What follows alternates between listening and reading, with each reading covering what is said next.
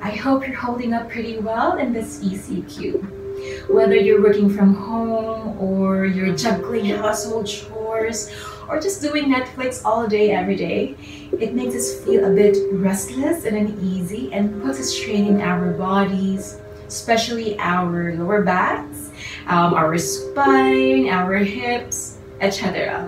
So here's a, a, simple pose that you can do at the comforts of your units with or without a mat and it'll just take a few minutes of your time.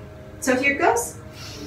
Now make the uh, feet hip width distance apart. Roll your shoulders away from the ears.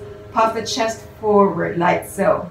So I will do it sideways so you can see the full pose, okay? So here, making sure my alignment is correct tucking the tailbone in, tucking the, the stomach in, shoulders away from the ears, feet hip width distance apart. As we inhale, we'll lift our arms up. Exhale, bending the knees here and move the body forward so that the torso will land on the thigh. Lifting the hips up, reach for the opposite elbows and let the head hang here. This is option one. Breathe here for three to five times.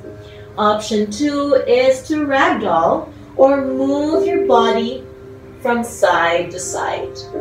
Once again, three to five breaths here.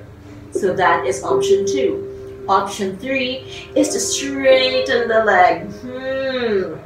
Feel the stretch at the backs of the thighs, all the way to the hips. Hmm. Feel the stretch.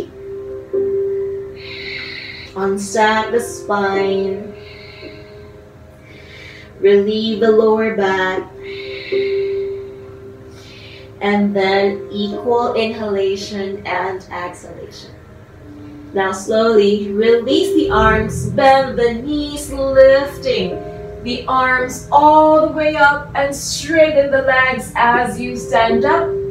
Hands in prayer position and then to the sides. We'll do it again faster. Inhale, lift the arms up, bending the knees. Go down torso on the thighs, reach for the opposite elbows, head in. Rock your body from side to side or legs straight. Yogi's choice. Again, inhale and exhale for three to five breaths. When you're done, release the hands, bend the knees, lifting the arms up, straightening the legs. And then exhale, hands at the heart and center, and then to the sides. You can do that for three to five times, depending on how you feel and how much time you have. So I hope you enjoyed that. See you again next time.